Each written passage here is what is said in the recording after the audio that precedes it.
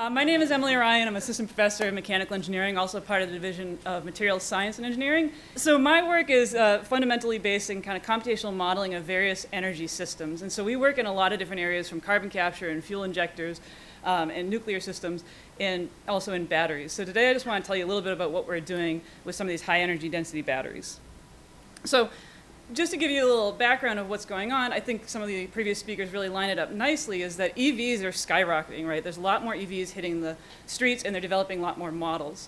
Um, the problem when you look at that is the batteries that you're using. Lithium-ion batteries are kind of the gold standard used today, and although they're great, and they've really allowed a lot of advances in portable electronics, EV, and everything else, they're not going to work if we're looking at long-term advancement of electric vehicles and then to what Michael was just talking about, when we were talking about the grid and getting adaptive grids, this idea of grid storage. So what people are starting to look at are new uh, technologies. And so you can see on the left-hand side here, I show some of these different technologies. What we're really looking at is higher energy density batteries.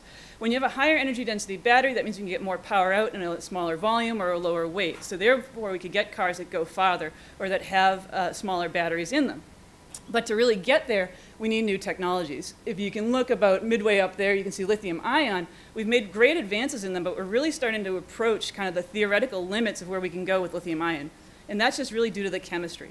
And so if we really want to go surpassing that, then we have to look at new battery technologies. And a big area of that is things like metal air batteries.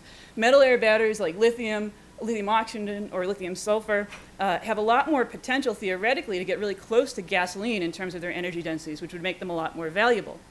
The problem being is they have a lot of fundamental technical challenges to overcome before they can actually be commercialized. And so that's where the research really comes in.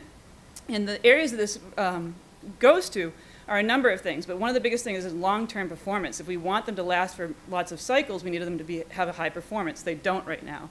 A lot of that comes from material issues, stability of different materials working together. And then the, one of the biggest ones is a safety issue. If we're going to put these in the cars, on the streets, we have to make sure we have safe systems. So to that end, I said we do computational modeling. We've been looking at one issue of many that are going on in these battery systems, and we use computational modeling to try and look at interfacial stability in these batteries.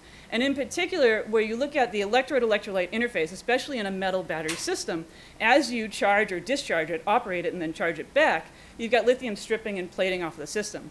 When it does that, it doesn't do it uniformly. Instead, what you get are what are known as these dendritic growths, which are kind of these tree-like structures you can see in all of our simulations here. And what happens over time is that this leads to drops in performance. You get capacity fade, so you don't have your, your cell phone or your laptop lasting as long. That's what we see every day now. You can have safety issues. If you've ever seen something like a, a fire, a laptop fire, that's what it would be. And you just limit the cycle life. So what we do is we have modeling that we're trying to understand fundamentally what's going on with this dendritic growth. And we do this to look at, we look at a different, a lot of different areas of this. But one thing we look at kind of on the bottom right-hand side is the idea of separators. There are separators in batteries, which are porous material. How could we design that that might be able to affect local transport and affect the dendritic growth? So could we inherently limit that growth using something like separator that's already there?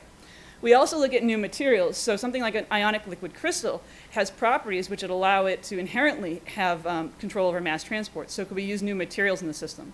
And then the newer area we're looking into is the idea of how we operate it. So charging conditions. So we charge our batteries right now, and depending on how fast or slow you charge it, that'll affect dendritic growth. Can we come up with new protocols for charging that would allow something like fast charging, um, but not affect the performance? And so we're looking at all these different aspects through various different models and working with different companies and uh, government funding to try and understand this better.